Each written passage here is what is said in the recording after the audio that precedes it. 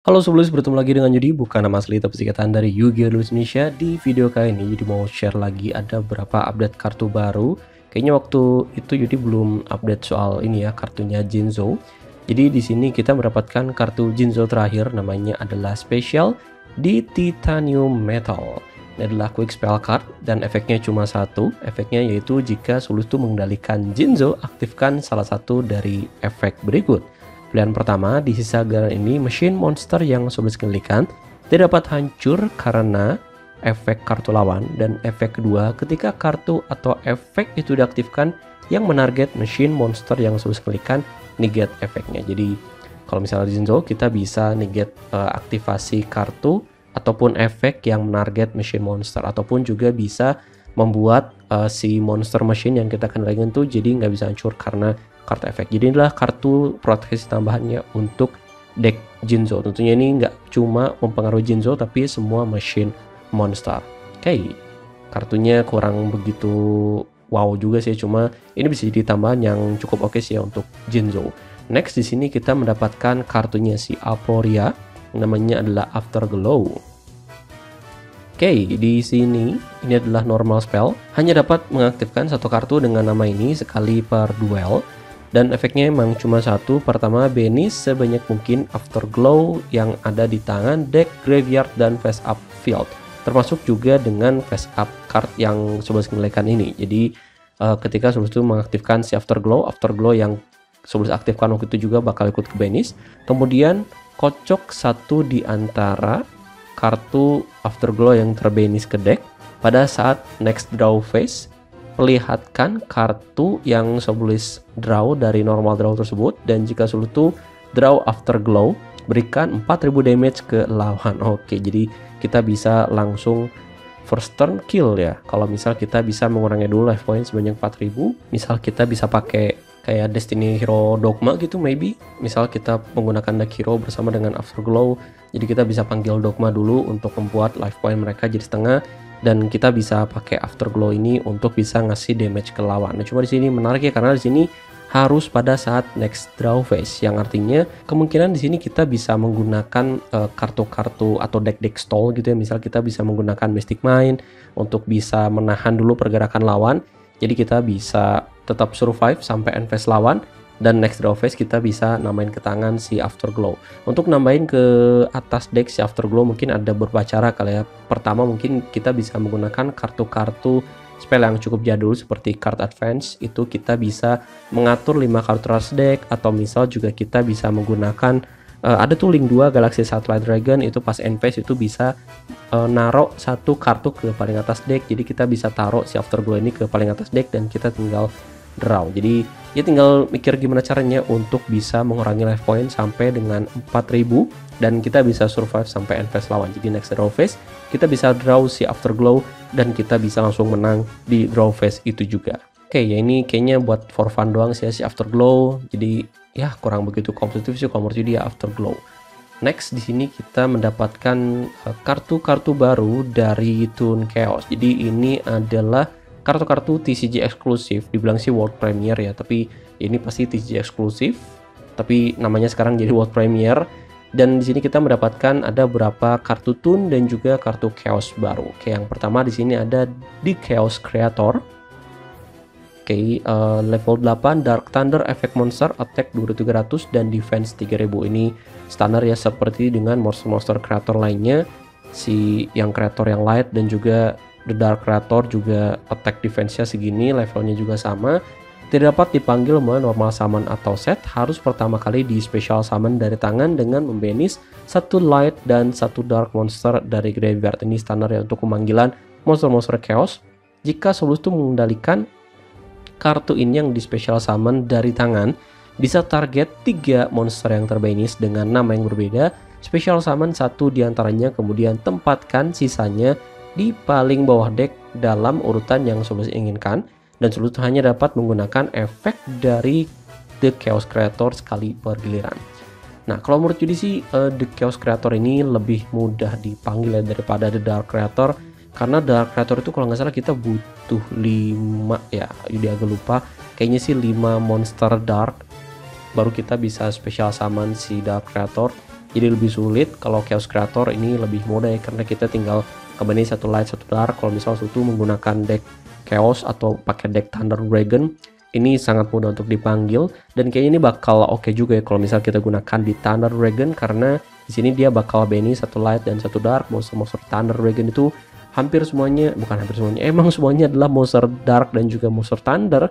Dan efek-efek dari monster thunder dragon beberapa tuh ada yang terpicu ketika mereka terbanish jadi win-win gitu ya. Apalagi juga kita bisa uh, manggil salah satu thunder dragon yang sudah kita special eh, yang sudah kita banish untuk misal uh, manggil seperti link monster gitu atau apa gitu nggak seperti link monster gitu karena kita bisa dapat material tambahan tentunya. Dan karena level 8 jadi kita juga bisa uh, gunakan bersama dengan level 8 lainnya. Entah kalau misal suatu boleh Vianir atau misal manggil Thunder Dragon 2 untuk eksis ke rank 8 jadi ya ini oke okay banget apalagi karena dia adalah monster Thunder jadi The Dark eh The Chaos Creator ini juga bisa kita search menggunakan Thunder Dragon Fusion. Mantap sekali dan next di sini waduh ini bukan bahasa Inggris.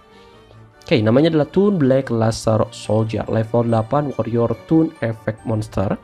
Ini attack 3000 dan defense-nya 2500. Tidak dapat dipanggil melalui normal summon atau set. Harus pertama kali di special summon dari tangan dengan mengorbankan Toon Monster dari tangan atau field dengan total level 8 atau lebih. Oke, jadi mirip-mirip kayak ritual summon gitu ya. Jadi kita bisa menggunakan monster dari tangan dan juga field. Tapi di sini harus Toon Monster. Jika selalu mengendalikan Toon World dan lawan tidak mengendalikan Toon Monster, kartu ini bisa menyerang lawan langsung. Ini efek standar dari monster-monster Toon.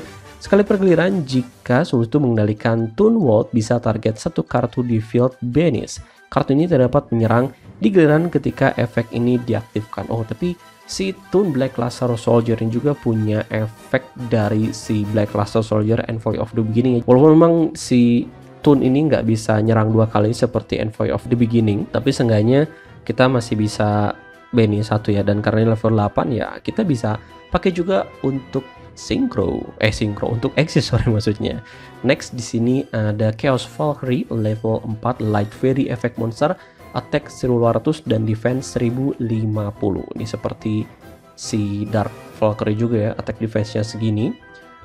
Tidak dapat dipanggil menolak sama atau set harus di special summon dengan card effect. Bisa beni satu light atau dark monster dari graveyard special summon kartu ini dari tangan dan jika kartu ini terbenis bisa kirimkan satu light atau dark monster dari deck ke graveyard. Tapi di Salgran ini tidak dapat mengaktifkan kartu atau efek dari kartu dengan nama yang sama dari kartu yang terkirim ke graveyard yang menggunakan efek dari si Chaos Valkyrie hanya dapat menggunakan masing-masing efek dari monster bernama ini sekali per giliran. Oke. Okay.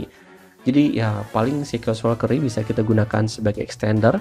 Cuma sayangnya di sini untuk efek yang dia ngedump monster light atau dark kita nggak bisa pakai efeknya. Jadi yang nggak bisa terlalu di abusive form jadi si Chaos Valkyrie.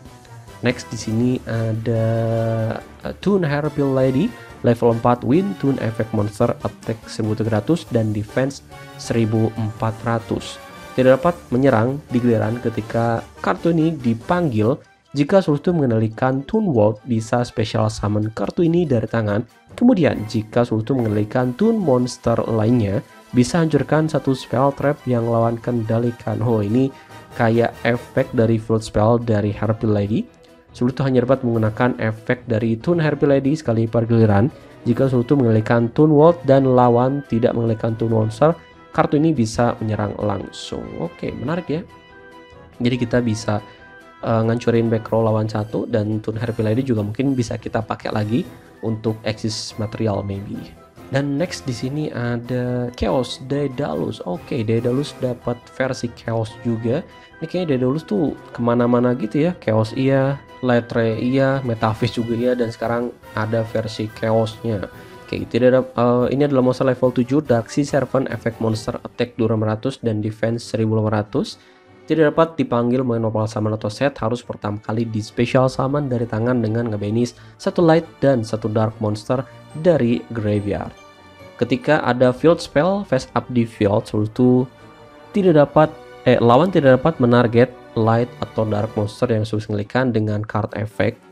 itu bisa target face up card di field sampai dengan sejumlah banyaknya face up field spell yang ada di field dan Benis.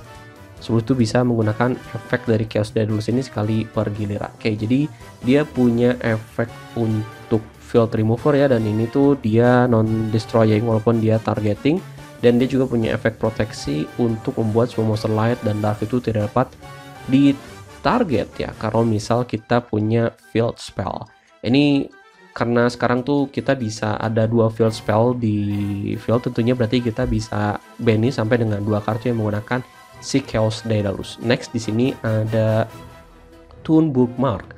Normal spell, efeknya tambahkan Toon World atau satu kartu yang secara spesifik bertuliskan Toon World pada teksnya dari deck ke tangan kecuali Toon Bookmark. Jika Toon World yang sebelumnya tuh akan hancur karena card efek itu bisa benis Kartu ini dari graveyard sebagai gantinya hanya dapat mengaktifkan satu toon bookmark per giliran. Oke, ini mantap sekali. Jadi kita dapat lagi searcher untuk tune. Sebelumnya kita sudah punya tune table of content yang bisa search any tune card. Tapi kalau untuk si tune bookmark berarti kita bisa search si tune world dan juga field spell dari tune yaitu tune kingdom. Karena tune kingdom sendiri itu menuliskan tune world pada efeknya jadi bisa di search juga menggunakan Tune Bookmark. Oke, mantap sekali.